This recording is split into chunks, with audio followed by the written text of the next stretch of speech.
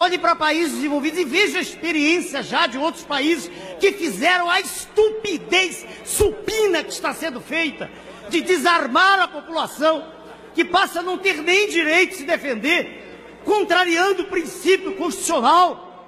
E isso é aplaudido, isso se repete em verso e prosa. Isso não representa avanço nenhum. Isso é mais um retrocesso. Isso é mais uma condição de entregar o nosso cidadão nas mãos daquele que vai entrar na sua casa e vai fazer o que quiser, porque ele não tem mais o direito de se defender. É preciso parar com a hipocrisia, aprender a dizer a verdade. Só a verdade pode fazer com que a população acredite que está falando, como acredita em mim.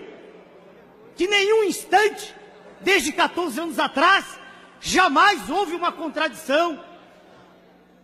A reforma da Previdência foi uma punhalada pelas costas.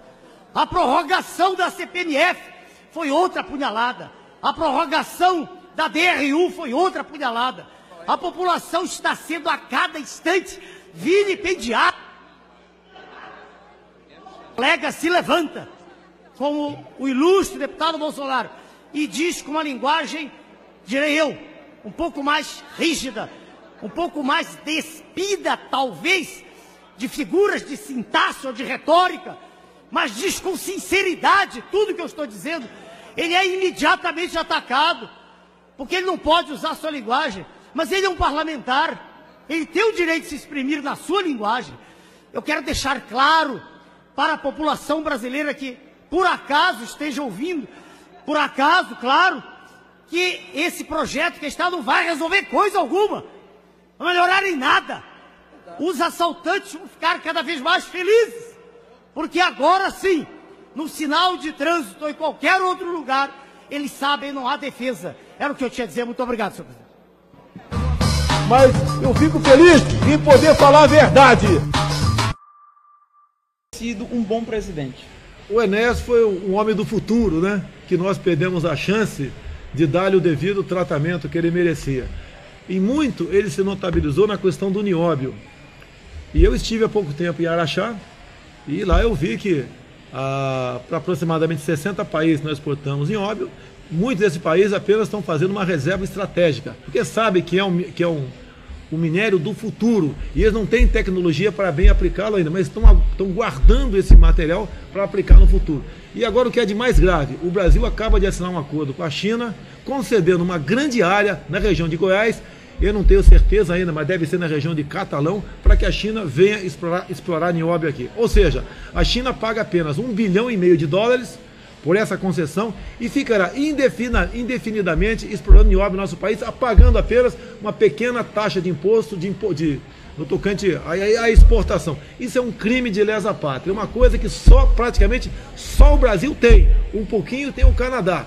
E no Canadá ele pesa no seu PIB. Para nós aqui não pesa em nosso PIB. Então nós devemos preservar o que é nosso. Vamos fazer negócio com o nióbio? Sim. Mas vamos fazer vendendo pelo preço que ele vale e não entregando para qualquer país do mundo.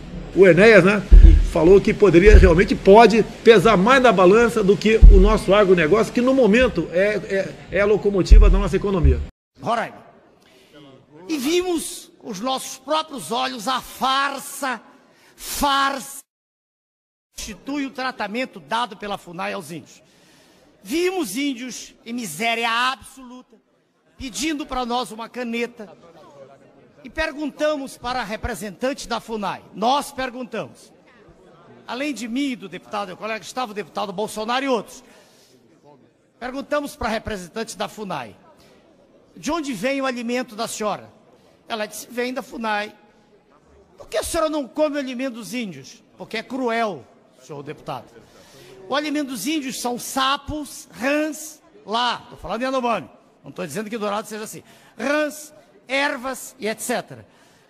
Fomos proibidos de entrar em uma maloca, proibidos.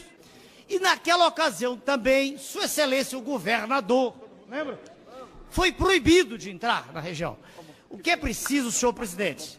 Mas o que é preciso é que nós acordemos para algo que está entrando pelos olhos, que é a farsa já institucionalizada Senhor presidente, para encaminhamento é um minuto. O debate é depois. Esse é encaminhamento do requerimento é um minuto.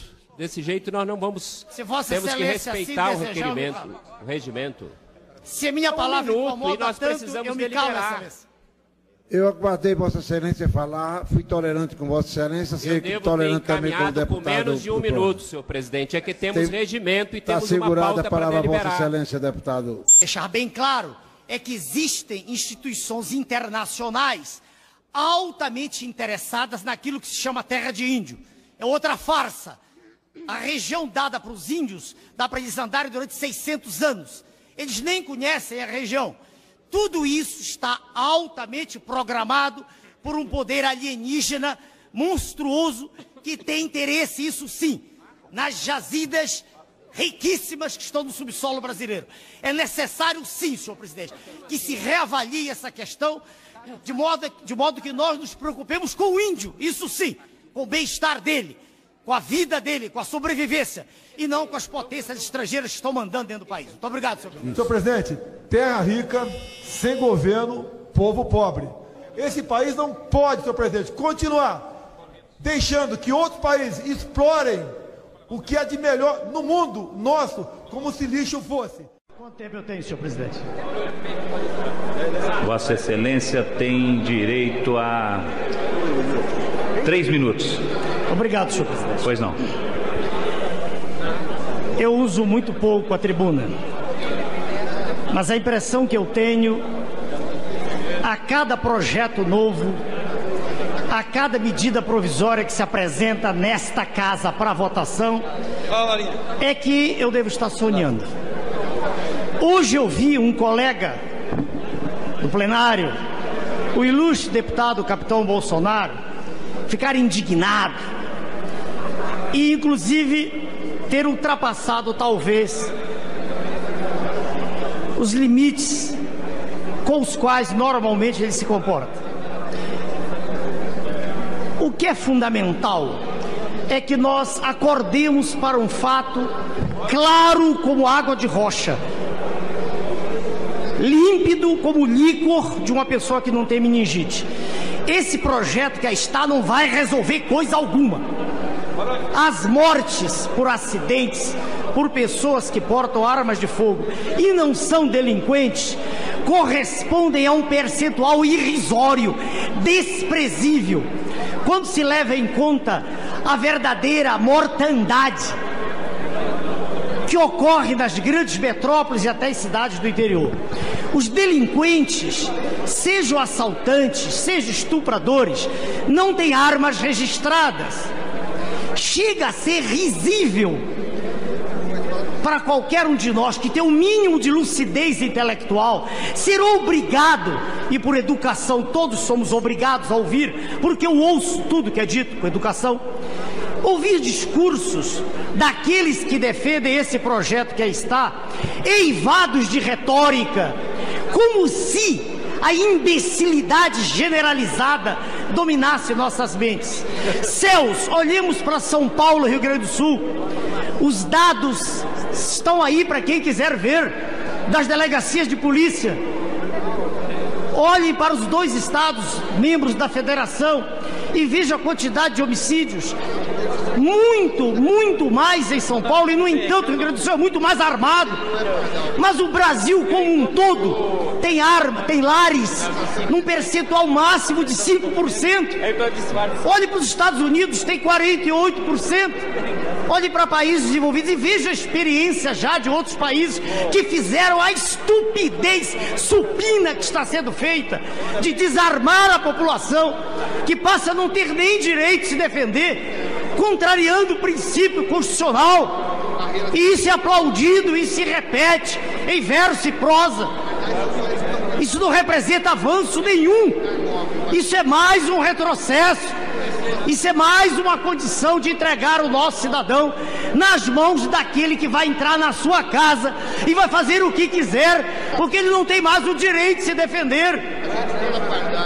Isso é um absurdo dos absurdos. Eu sei que nós já perdemos.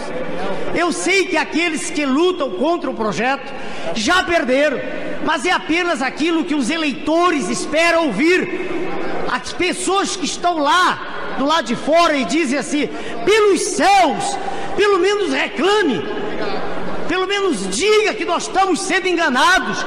Saiba a população brasileira que ela foi enganada na reforma da Previdência. Eu não estou agredindo nenhuma pessoa em particular. Estou falando de um modelo pútrido, hediondo, em decomposição, que se repete, que aí está, igual não, muito pior do que era antes. Vamos ser honestos, vamos parar com essa hipocrisia, vamos parar de dizer que estamos defendendo a população. A troco de que tanta mentira? Se eu tenho a posição que tenho e não estou ligado a nenhuma outra estrutura política, eu criei o Prona e defendo essas ideias e todos sabem, eu as defendo há 14 anos. É preciso parar com a hipocrisia, aprender a dizer a verdade. Só a verdade pode fazer com que a população acredite que está falando, como acredita em mim que nenhum instante, desde 14 anos atrás, jamais houve uma contradição. A reforma da Previdência foi uma punhalada pelas costas. A prorrogação da CPMF foi outra punhalada. A prorrogação da DRU foi outra punhalada. A população está sendo a cada instante vilipendiada. O colega se levanta como o ilustre deputado Bolsonaro. E diz com uma linguagem, direi eu, um pouco mais rígida, um pouco mais despida, talvez, de figuras de sintaxe ou de retórica, mas diz com sinceridade tudo que eu estou dizendo, ele é imediatamente atacado, porque ele não pode usar a sua linguagem, mas ele é um parlamentar, ele tem o direito de se exprimir na sua linguagem. Eu quero deixar claro para a população brasileira que por acaso esteja ouvindo, por acaso, claro, que esse projeto que está não vai resolver coisa alguma, não melhorar em nada. Os assaltantes vão ficar cada vez mais felizes, porque agora sim, no sinal de trânsito ou em qualquer outro lugar, eles sabem não há defesa. Era o que eu tinha a dizer.